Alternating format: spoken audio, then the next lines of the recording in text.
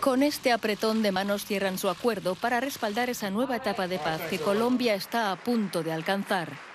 En una ceremonia en la Casa Blanca, el presidente Barack Obama aseguró que su país continuará apoyando a Colombia en la etapa posconflicto. Y así como Estados Unidos ha sido socio de Colombia en tiempos de guerra, le he indicado al presidente Santos que también seremos socios en la realización de la paz.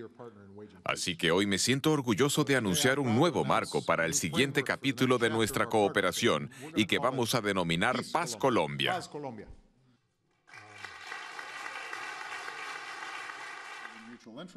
Obama promete, por ejemplo, un fondo de 450 millones de dólares para garantizar la seguridad y la lucha antidrogas, así como para apoyar un programa internacional de desactivación de minas.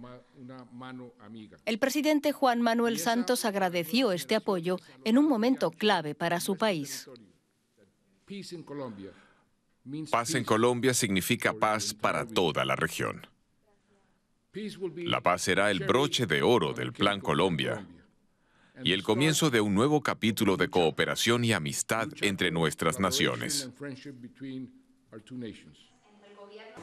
Con el nuevo programa de ayudas, bautizado ahora como Paz Colombia, Estados Unidos prolonga el Plan Colombia, en el que se invirtieron 10.000 millones de dólares en 15 años. Sin embargo, el nuevo plan ya no será para combatir a las FARC, sino para reintegrar a los guerrilleros a la sociedad y para garantizar la dejación de armas.